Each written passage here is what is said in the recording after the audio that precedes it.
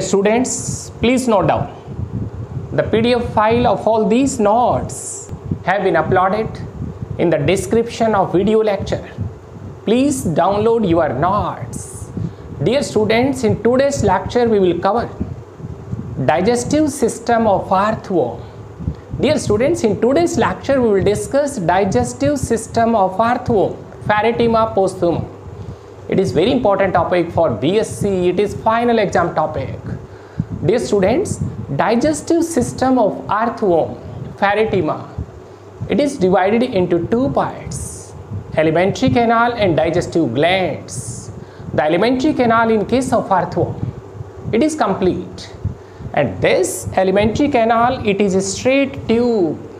And this tubular structure which extends from the very first segment of the body and it extends up to the last segment of body.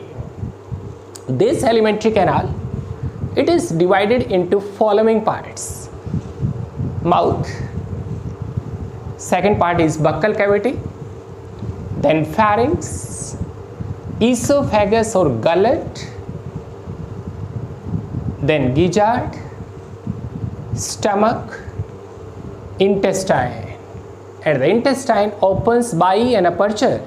That is anus which lies at the terminal part of last segment pygidium anal segment. First of all we will discuss different parts of alimentary canal in details. Mouth. This small aperture slit like aperture and this aperture or mouth that lies in the first segment of body. And the first segment of body that is peristomium dear students first segment is peristomium as it surrounds it encloses. This first segment encloses mouth. In front of this mouth first segment a fleshy lobe is there. And that fleshy lobe is prostomium that prostomium which involves in ingestion of food as well as prostomium involves in burrow formation. As the animal is fossorial it lives in burrows. Dear students first segment is peristomium and this first segment peristomium encloses mouth. And in front of this mouth first segment peristomium, a fleshy lobe, and this fleshy lobe, which acts as upper lip, which involves in ingestion of food as well as burrow formation, that is prostomium. The second part of alimentary canal that is buccal cavity. This small, thin walled space or cavities that is buccal cavity, oral cavity and this buccal cavity extends up to the end of third segment. Next part is and this part is very important, very important for final exam it is pharynx. Dear students, third part of alimentary canal that is pharynx. First is mouth, that lies in first segment which is peristomium in front of peristomium. A fleshy lobe and this fleshy lobe is prostomium. And the mouth leads into a cavity that is buccal cavity. The third part that is pharynx which is an important part for final exam. This is the structure of pharynx. And this pharynx which is small thick walled and this pharynx is glandular. Dear students it is muscular and it is highly vascular. As in the roof of this pharynx a buccal mass is there a pharyngeal mass is there a bulb is there which is glandular. And that glandular part consists of an aggregation of unicellular glands, salivary glands, which secrete saliva, and that saliva contains a proteolytic enzyme. Dear students, in the roof of pharynx, a mass is there, a bulb-like structure is there. That is pharyngeal bulb, pharyngeal mass. And that mass consists of an aggregation of unicellular glands. These are salivary glands which secrete proteolytic enzyme that involves in the digestion of proteins. And this middle part of this pharyngeal bulb that consists of muscles. So it is muscular it is muscular part as well as this middle part is highly vascular. It has enriched blood supply. In this lower part, this pharyngeal lining epithelium and this epithelium grows inwardly. Horizontally it grows. As a result, this pharyngeal cavity, the space is divided into two chambers, upper chamber and lower chamber. This upper chamber is dorsal chamber and dear students this lower part is this spacious cavity chamber is it is ventral chamber the pharynx very important it is thick walled it is glandular having an aggregation of unicellular salivary glands which secrete saliva that contains proteolytic enzymes.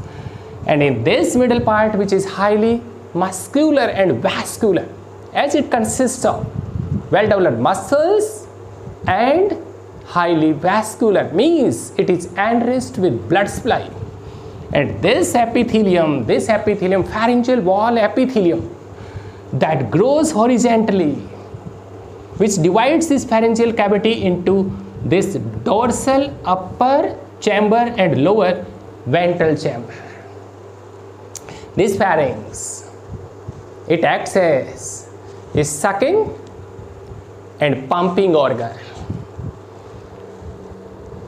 Next part is esophagus gullet. Dear students, fourth part of this alimentary canal which is esophagus or gullet.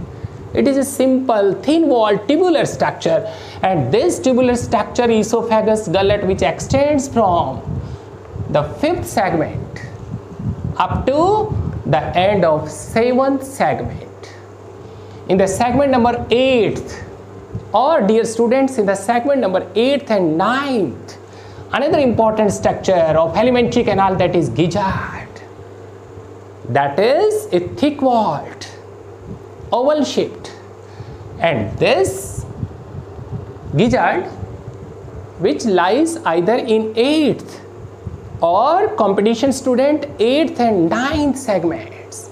And this gizzard its wall consists of powerful muscles. The contraction of these muscles which are present in gizzard wall that causes mechanical breakdown of food.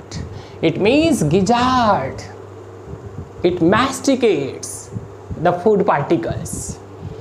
Then the next part is stomach very important very important this stomach again it is thin walled and it is tubular structure and it extends from this 10th segment to the end of 14th segment. Competition students note down each and every point particularly the numbering of segments. Mouth that lies in first segment. This buccal cavity extends up to the end of third segment. The pharynx, it extends up to the end of fourth segment. Then this esophagus, it extends from this pharynx up to the end of seventh segment. Then this gizzard, which lies either in eighth or eighth and ninth segments. Then this stomach, it extends from this 10th segment to the end of 14th segment the stomach wall that consists of calciferous glands and these calciferous glands again secrete proteolytic enzymes to digest proteins. Then very important part and the largest part of alimentary canal, this is the last part of alimentary canal, it is intestine.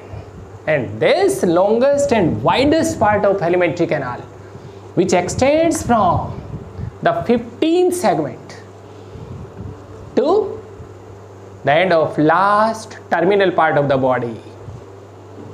This intestine in its 26th segment, note down very important point in the segment number 26th a pair of leaf-like glands are there. These are intestinal ceca. In the segment number 26th, these are a pair of leaf-like structures. These are intestinal ceca. And these intestinal ceca, which secrete amylolytic enzymes. It means these are digestive glands as well as these are excretory glands a pair of intestinal ceca which are present in the segment number 26. And dear students, another important point of this intestine from the segment number 27th internally a membranous fold which is mid dorsal. And this longitudinal fold it is named Typhlosole, not down, not down, all students, competition students, BSc students in the segment number 26 onward up to the 23 to 25 segments in front of anus. It means this typhlosole which begins from the segment number 26th and it is absent in the last 23 to 25 segments. Means this intestine is divided into three parts. This anterior part of intestine from 15 to 26 segment without typhlosole and again the last 23 25 segments are without typhlosole this first part of intestine it is pre-typhlosolar last part again without typhlosole that is post typhlosolar region. And this middle part begins from the 27 segment in which this membranous fold it is typhlosole that region is typhlosolar region. This typhlosole which is a modification of intestinal villi and it involves in secretion as well as it provides maximum surface area for absorption of food. It means this typhlosole, it is main site of absorption of food. Dear students, this typhlosolar region in which digestion becomes almost complete as well as this is the main site, main seat of absorption of food. And the last segment, last part, post-typhlosolar region. That occupies that consists of 23 to 25 last segments without typhlosole and that particular part acts as rectum. In that rectum or post-typhlosolar region undigested food material in the form of small pellets are present it means the last part post-typhlosolar region or rectum that stores undigested food material, pellets. And these small pellets are removed through the anus and that aperture lies at the terminal part of last segment. The last segment is anal segment. Dear students, last segment is pygidium. That pygidium last segment opens by anus. Through that anus, this undigested food material or these small pellets are removed in the form of worm casting and that worm cast casting highly nutrients highly nutritious as it enriches the soil the nutrients of these worm casting enrich the soil which act as this worm castings that acts as biofertilizers which enriches the soil particles. Dear students, digestive glands in this digestive system of earthworm four types of digestive glands pharyngeal roof that consists of pharyngeal mass or bulb. In that mass, aggregation of unicellular salivary glands are there. Then in the wall of this stomach, second type of digestive glands, these are calciferous glands which are present in the stomach wall which secrete again proteolytic enzymes like pharyngeal secretion. In intestine, these intestinal ceca and the intestinal lining that secretes intestinal juice and in that intestinal secretion all types of enzymes are there proteolytic like trypsin and pepsin for the digestion of proteins. Dear students, amylolytic like amylase enzyme for the digestion of starch. Lipolytic enzymes like lipase for the digestion of lipids and for the digestion of cellulose. The intestine also secretes cellulase enzyme. It means complete digestion, particularly that digestion occurs as well as absorption of food. That takes place in this middle part of intestine typhlosolar region which is main site of digestion and absorption of food and the undigested food the pellets the worm castings that is removed through the anus this is all about digestive system of earthworm. Dear students two parts very clear this alimentary canal which is straight tubular structure and that alimentary canal which is complete having both openings mouth and anus and the mouth which which is present in the first segment of the body that is peristomium and anus opens at the terminal part of last anal segment of the body. And this alimentary canal having mouth buccal cavity pharynx then this esophagus and the mastication of food which is carried by gizzard then stomach its lining consists of calciferous glands which produce proteolytic enzymes. The pharynx glands the pharyngeal mass bulb that also secretes saliva having having proteolytic enzymes. And the secretion of intestinal glands a pair of intestinal ceca and the intestinal lining that secretes intestinal secretion in which all types of enzymes are present. Proteolytic, amylolytic, lipolytic as well as the digestion of cellulose which is carried by cellulase. And dear students, this entire intestine which is divided into three parts from 15th to the 26th segment it is without typhlosole it is pre-typhlosolar region and the intestinal middle part having this in membranous fold mid, mid dorsally and it is typhlosolar region. And the last part of intestine that occupies 23 to 25 segments without typhlosole that part is post typhlosolar region. And this intestine opens by anus and anus lies at the terminal part of last segment which is pygidium and the undigested food in the form of pellets removed in the form of worm casting biofertilizers which enriched the soil particles. So this is all about digestive system of earthworm and tomorrow's lecture we will discuss very important topic that is circulatory system. Thank you.